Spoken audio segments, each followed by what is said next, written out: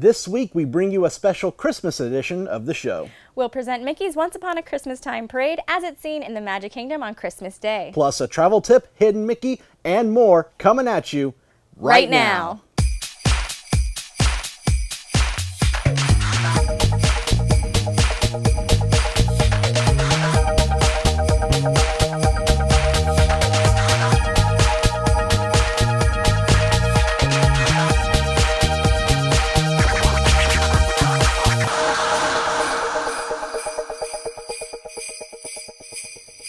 Merry Christmas, everyone, and welcome to this week's episode of the show. I'm Banks. And I'm Elisa. And this is Spencer. Hi, I Spencer. thought I'd bring Spencer today because, you know, it's special. This is her first Christmas, so I wanted to bring her in. and She's very fascinated by all the toys there on are the a lot of toys behind her. It's exciting. Do you want, is that you're going to be a Christmas present? Do you want that? well, Banks, since you gave me my Hanukkah present last week, I'm here to give you your Christmas presents. Aw. And this one's actually for Spencer, and I'll help you since you uh, are a little tied up at the moment. Spencer, you got a gift. Spencer's like, I want to see. look at that. Bunny. Buddy.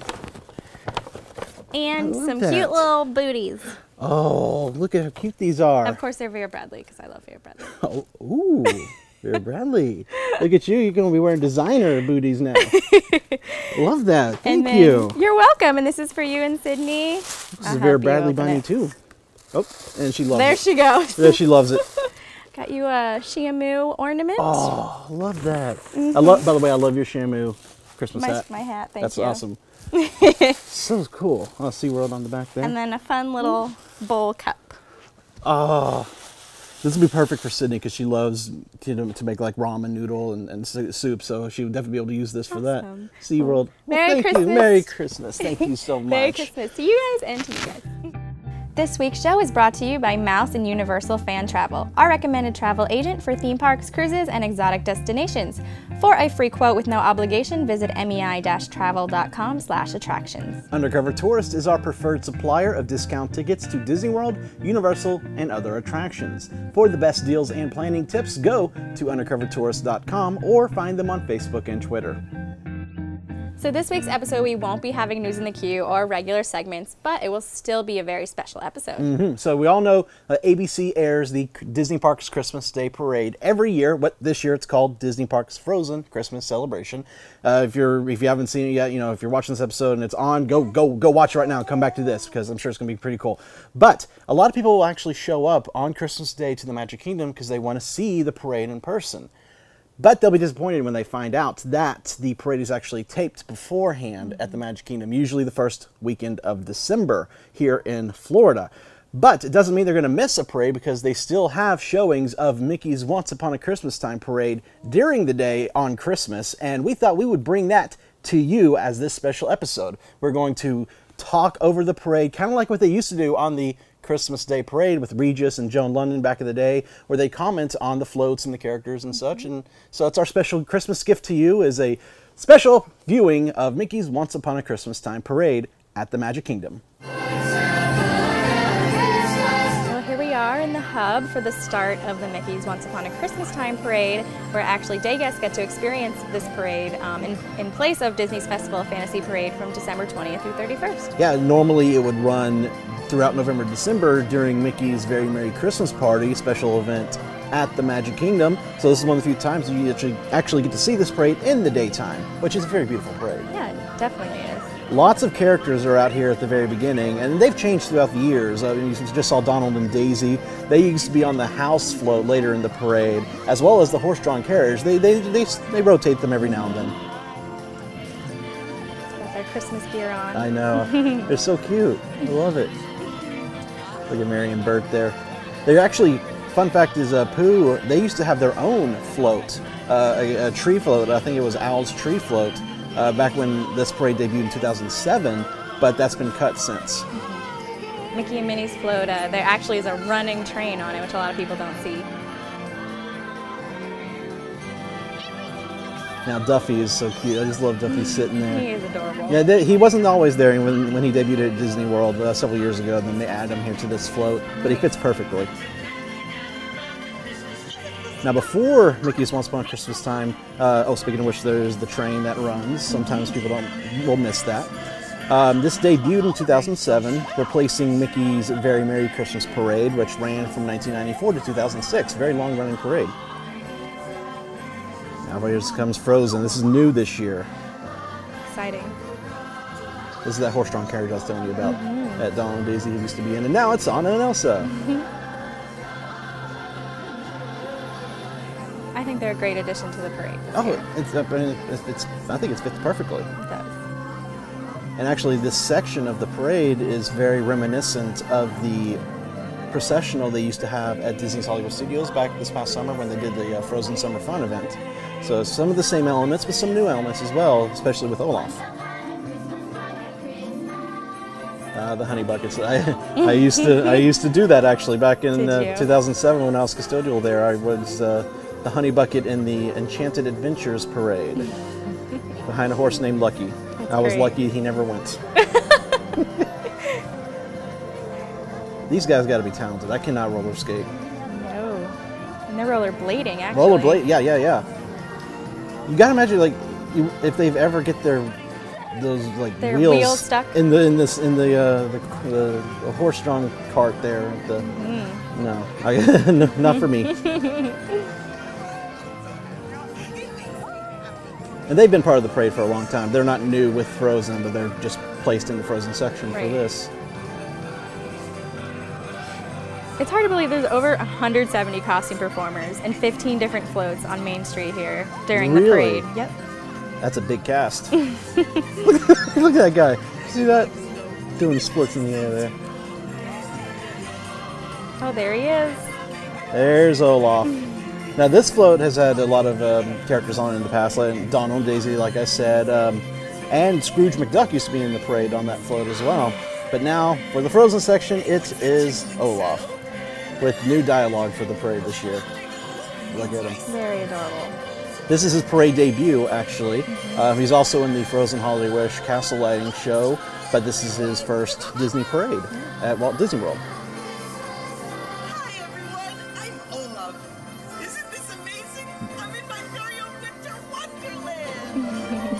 So cute. I hope he starts making meet and greet appearances sometime in Oh, the I near know, future. I know that he's doing it in California right now. Mm-hmm. Hopefully, we'll get to meet him. Although we did get to meet him We did, we through were the special events, but hopefully, guests will be able to meet him very soon here. The Ice Carvers. lucky. God, those skiers are so fast with the gliding and These guys also debuted during the Frozen Processional at Hollywood Studios this past summer.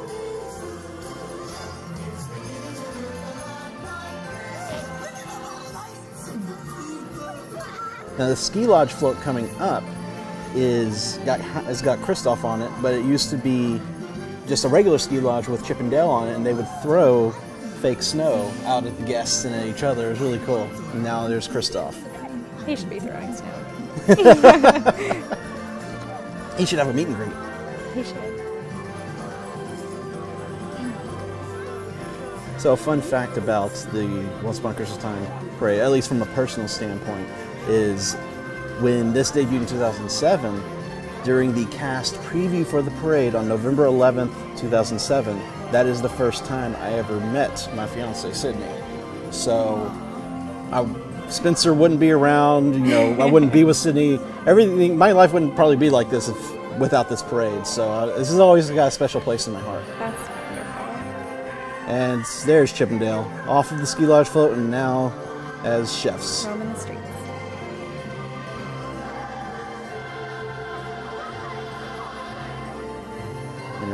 The guests there with mm-hmm. Chippendale hats on.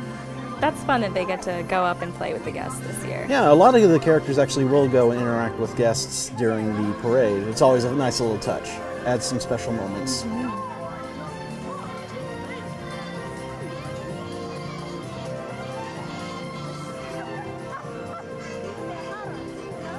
think I love these gingerbread characters just because you look at their backs there and they're completely flat, like they came right off the cookie sheet.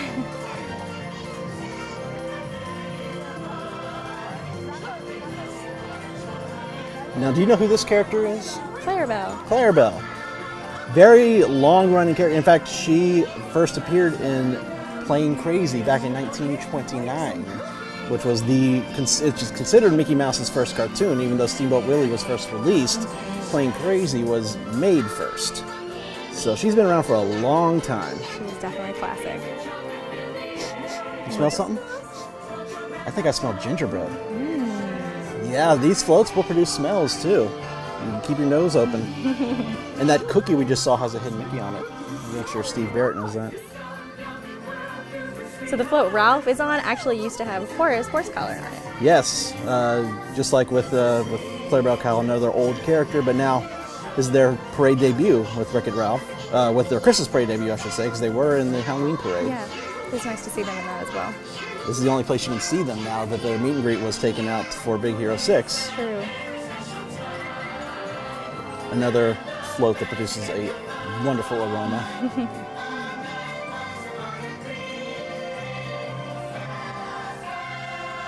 so, how long have you watched the parade special that was on that's on ABC? Well, I've watched the parade for a few years, but this year was my first year actually seeing it in person. In person. Yeah. The Walt Disney World Very Merry Christmas Parade, which is what it was called when it first debuted, debuted in 1983. It's been around for 31 years now. And it's the only year it did not perform, did not air on ABC was the year 2000. They decided to do a Tracking Santa special instead. And a very young Banks was very mad about that because he watches this every year. There's Goofy on top of the uh, candy float. Now, this is one of the few floats in the parade that actually makes appearances in other parades throughout Magic Kingdom. Uh, specifically, uh, Mickey's Boo to You Halloween Parade, it also appears in, but gets repurposed.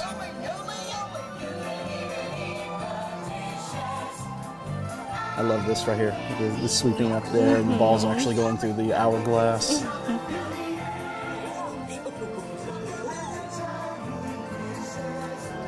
Now we start getting into the princess section, starting with Snow White, which is appropriate because Snow White was the first full length animated Walt Disney film.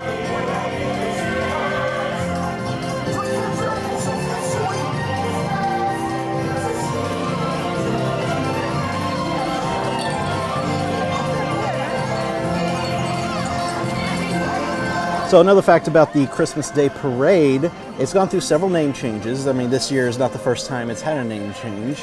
Started off, like I said, as the Walt Disney World Very Merry Christmas Parade. Then in 1997 became a magical Walt Disney World Christmas.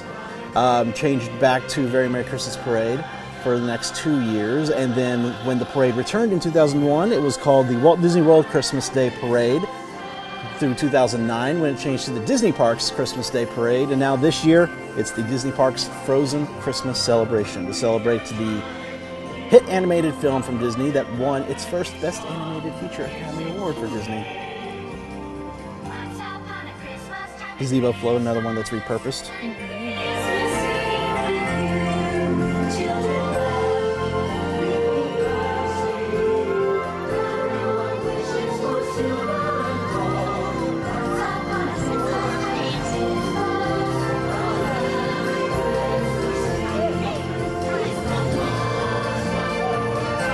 There's over 1,300 decorated trees throughout Walt Disney World Resort. Really? Yes. Th- wow. How many lights? Tell me that. 10 miles of, well, actually, at uh, Disney's Hollywood Studios, there's over 10 miles of twinkling lights. An Wow. Osborne Family Spectacle of dancing lights, and that's only at Hollywood Studios. Throughout all of Walt Disney World, there's actually 8.5 million lights I can believe it. Wow. Mhm. So here we are in the Princess, the, the castle float, and this castle float's been around for a long time. Various parades since 1986. It's one of the longest running floats at Magic Kingdom history. And this one has every single princess on it.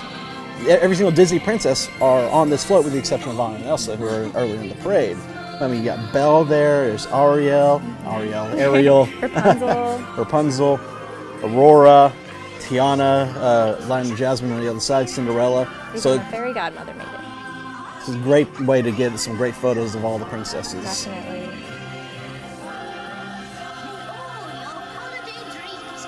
So I know I said that you know the Christmas Day parade is pre-taped. You don't can't see it live on Christmas Day, but it used to air live. when it debuted in 1983, all the way through 1996, it would be live on Christmas Day. So you could see it here on Christmas Day. Uh, but then in 97, they went to pre recorded, and it's been that way ever since. It's unfortunate. I mean, it would be better live, of course. I would. I, I mean, you would think with the with technology these these days, it'd be a lot easier to do it live than it would have been back in the '80s. Another interaction with the audience there. Coming up to the Babes in Toyland unit, based on that uh, Disney film starring Annette Funicello.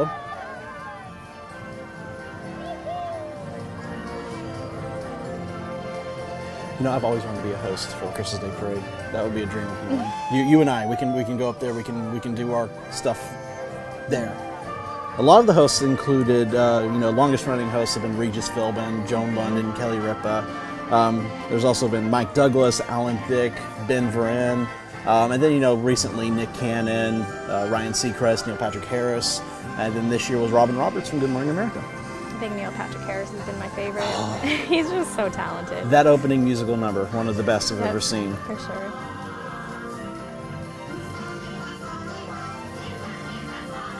Bo Peep there. you don't get to see her very often no, anymore. not at all.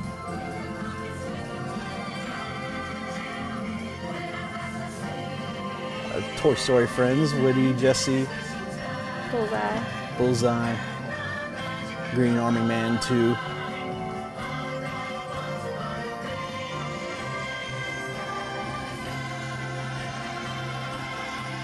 There he is. Giving us a salute. How you doing, sir? there you go. So where's your favorite place to watch the parade? When you, when you, whenever you're at Magic Kingdom, any parade, where do you like to watch it at? Along Main Street, because you can see the castle in the background, and every everybody is just there, and it's beautiful. And I'd say that. That iconic view. Yeah. Yeah, yeah. I actually really enjoyed our view for where we were standing when we were at the taping. Yeah, in front of the confectionery, right Yeah. there by the, the cinema. Yeah, that was a good, good place. Yeah. Most of the time, uh, so Sydney loves watching it in Frontierland in front of the shooting arcade. That's that's kind of her spot. Now these guys, I love these guys, the toy soldiers, because they're actually playing the instruments that they have, which is pretty cool. That is cool. And then the stomping. So in unison. Mm-hmm. Which is definitely what they're known for. It, it definitely is my favorite part of the parade, and it's so iconic because they've been a part of this parade for such a long time.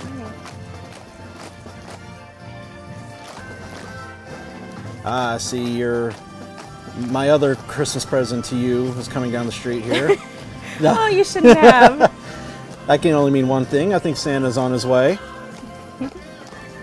Wouldn't be a Christmas parade without Santa. definitely not. Just finished his big round trip around the world and getting everyone their presents. Now, I love these reindeer that are coming up. I just think they're so stinking adorable. Aren't they? Yes. And so, and they've actually, some of the, reindeer have looked different in the past too, because they used to have like their tongues sticking out, and then we got uh, these reindeer a couple years ago.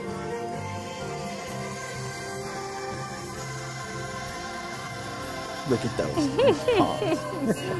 and Santa has a mic on, so he's actually able to talk and, to the guests and communicate with them. Oh, that's great. He always brings the parade to the close, talking to the guests as he goes by on his sleigh there.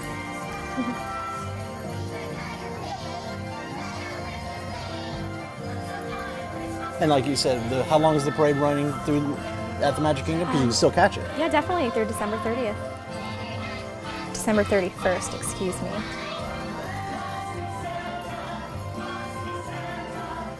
And there's the Once Upon Christmas Time title float. Used to be at the beginning, but they've moved it to the end here.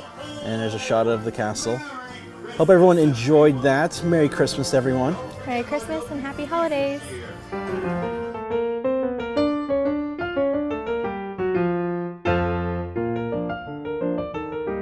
Hi, everyone. How about this week's Hidden Mickey at Walt Disney's Carousel of Progress? It's a good one.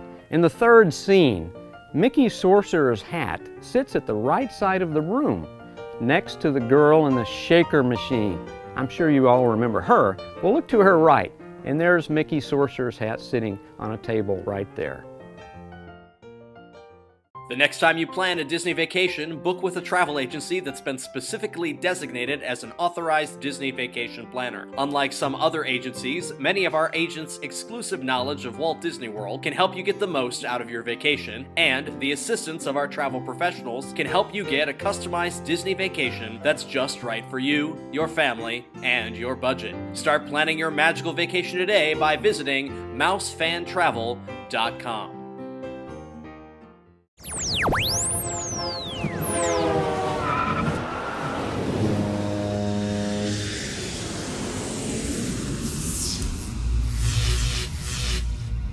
All this week, the parks are crazy busy. It's the busiest week of the whole year for Orlando's theme parks. So if you are planning a visit, make sure you have Fast Pass for Disney or plan on paying the extra fee to skip the lines at the other parks. Otherwise, don't plan on riding any attractions without a really long wait. But you can still have fun without the attractions. For example, you can watch shows, play games like Sorcerers of the Magic Kingdom, shop, or just take a stroll through the park people watching.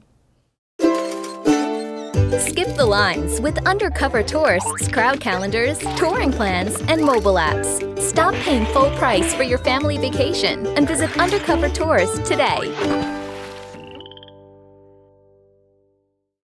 It's time for this week's calendar. Mm-hmm. Up first, we have holidays at Universal Orlando and holidays in space at Kennedy Space Center continuing this week. Saturday and Sunday, you can build your way on over to Legoland's Christmas Spectacular, and today through Tuesday, you can go to Wild Wonderland at Lowry Park Zoo. Finally, the final days of SeaWorld's Christmas celebration, as well as Christmas Town at Busch Gardens, goes from today through the 31st. Uh, and also, don't forget, Wednesday is New Year's Eve. A lot of the parks will be doing their own New Year's Eve celebrations. I think there's going to be a party at City Walk. Definitely lots to check out if you're in town to celebrate 2015. And remember, you can subscribe to our calendar at attractionsmagazine.com to stay up to date on these events and more. And you don't have to look just a week ahead. Check our calendar to see what events will be happening when you're planning your next visit. Mm-hmm. And now it's time for some shout outs. First, we have Tex and Dolores. It's always great to see you here in Orlando.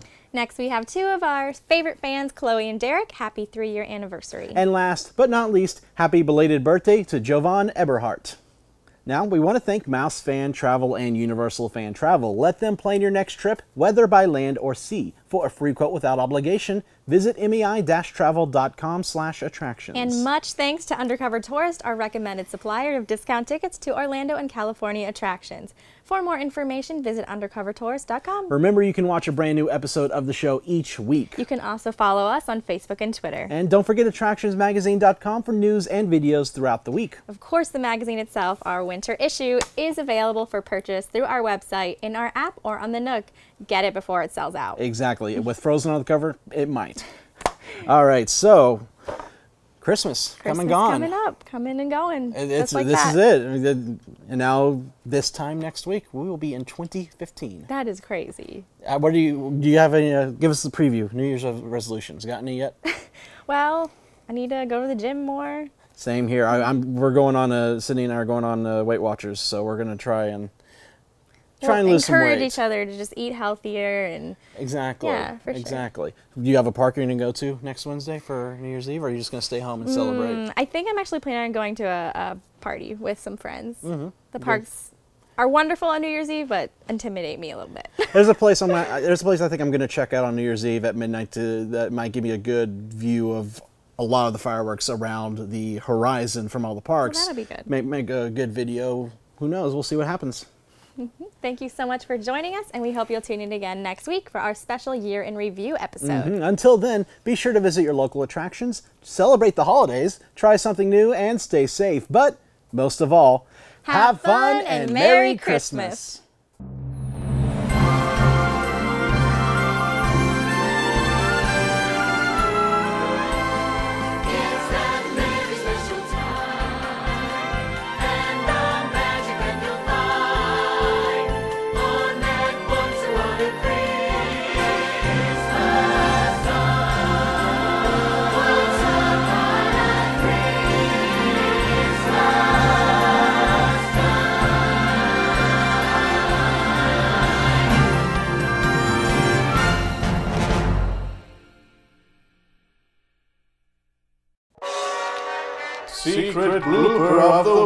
Disney Parks Frozen Christmas Celebration on ABC. If you're watching this on Christmas Day, happens every year. And hello, thank you.